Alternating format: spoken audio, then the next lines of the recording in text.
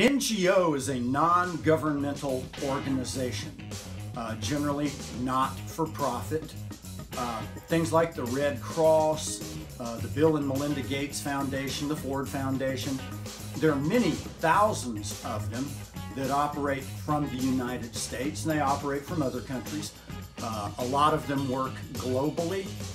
Uh, they provide food relief in impoverished nations.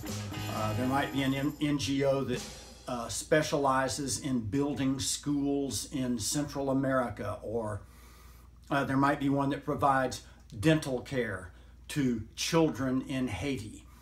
Any uh, charitable or good work that you can imagine probably has an NGO or many NGOs supporting those missions. And most of what they do, I think, uh, most Americans would say is is good. You know, providing dental care to children in Haiti, for example. I don't think we argue that that's a bad thing to do. There are some NGOs, however, that are not really non-governmental.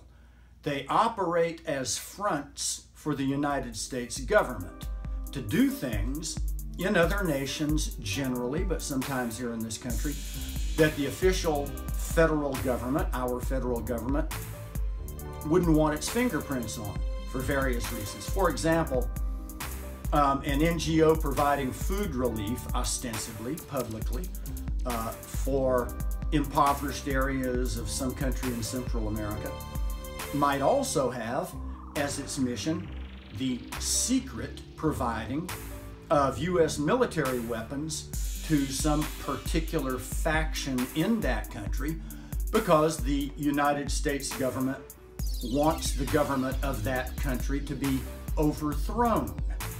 Uh, that would be illegal for the U.S. government to do uh, officially, so they use NGOs to do these secret things. Now, one of the things NGOs uh, will do is foment what are called uh, color revolutions, and there's a reason I won't get into why they're called color revolutions.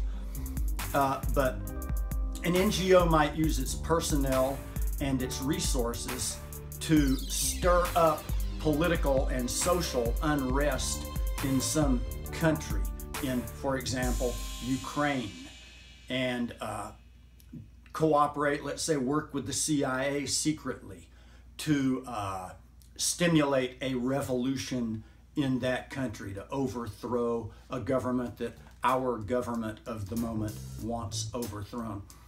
And uh, that's something that Congress needs to be in control of. Uh, some people might say, well, that's a good and necessary thing. We need to have these secret uh, commitments to uh, military foreign policy activities that are technically illegal and we don't want the public to know about it.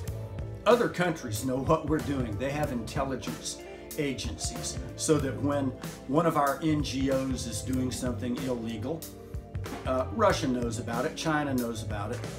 Uh, the reason it's done through an NGO really is so that the American public won't know about it.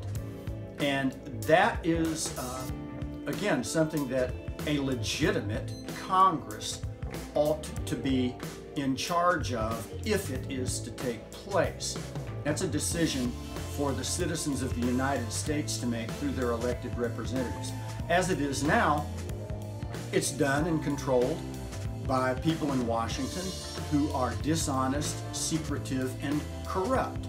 In short, criminals. So we currently have criminals with all the power of the United States government working through these NGOs to violate American law. Uh, certainly it violates international law, but my primary concern is that, that it violates our own law, committing murder and other crimes in the name of the American people. Uh, I'm going to talk about NGOs some more in other videos and, and, perhaps text posts. It's a very important topic that I haven't touched on yet, so I'll leave uh, this here for the moment and elaborate further uh, sometime soon. Thank you for listening. I always appreciate it. I can't give you a weather report because it's dark outside, so I'm shooting this video in the house. All right, and we are going to overthrow this government and take charge of our own governance and make it good. Make it something that we can be proud of, something we can pass down to our grandchildren, and uh, with confidence that they are going to benefit greatly. That's that's our mission to uh, to do something good for our children, grandchildren, and future generations of America.